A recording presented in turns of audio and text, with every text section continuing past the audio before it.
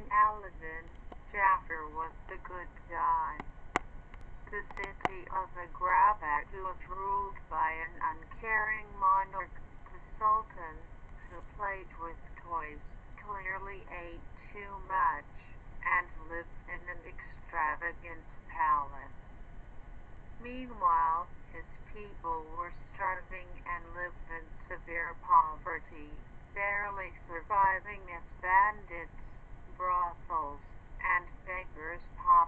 streets. And the Sultan's naive, silver-spoon daughter thought she understood the people's lives after spending, you know, like two hours outside.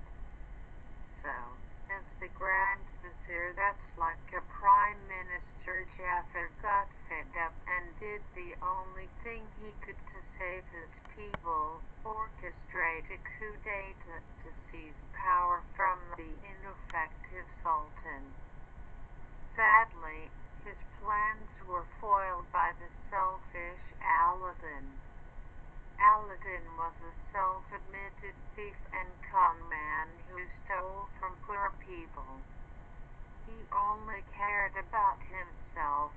He got three wishes and used them to become a fake prince in order to hit on the only rich girl in town, save his life from a jam he got himself into, and then free the genie, probably in the hopes of having an all-powerful ally. What did he do for his people?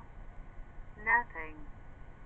Jafar did everything he could to save Agrabah, but in the end, Aladdin prevailed, moved into the palace with the princess, and the Sultan continued ignoring his starving populace.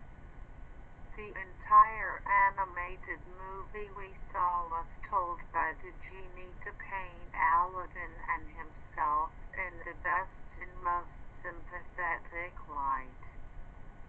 Revisionist history at its best. Jafar was the good guy.